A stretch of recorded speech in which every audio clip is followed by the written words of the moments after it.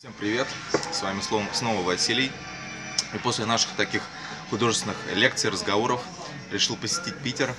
10 лет не был в этом городе, последний раз в 2006 году, и такое ощущение, как будто первый раз сюда приехал. Ощущения первые просто фантастические. Вот мы недавно после Сапсана приехали, сидим в кафе «Викинг».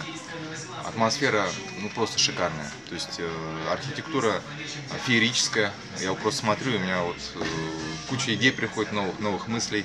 Просто вдохновение накатывает, что называется. Сейчас вроде дождь хот- мог начаться, но вроде сейчас смотрю, солнце более-менее выходит, э, выглядывает, все вроде ясно, да.